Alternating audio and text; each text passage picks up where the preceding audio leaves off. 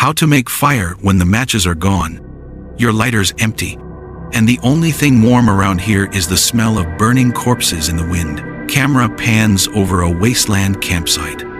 Rusted cans, broken furniture, a half-burned doll's head. Yeah, welcome to your new living room. You're cold, your fingers are numb, and that can of beans you found is basically a block of ice. Fire's not optional, it's survival. And lucky you, I'm feeling generous today. You want fire? You're gonna bleed for it. Grab that busted car battery, yeah, the one leaking acid like a horror movie prop, and rip out some wire.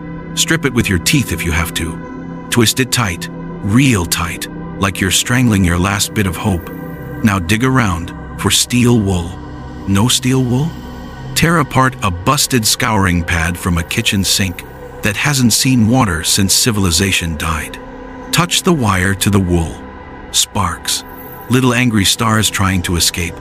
Breathe on it soft, like you're whispering secrets to a dying god.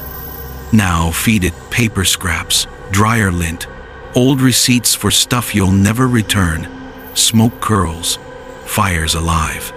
No battery? Fine. Rub sticks until your hands bleed. Break a glass bottle, focus the sunlight, and hope the clouds aren't mocking you. This isn't a step-by-step guide. This is desperation science. Everything burns if you're angry enough. The flame catches. The beans heat. You live another day. Congratulations, fire god. Try not to die tonight. How to make fire when the matches are gone. Your lighter's empty, and the only thing warm around here is the smell of burning corpses in the wind.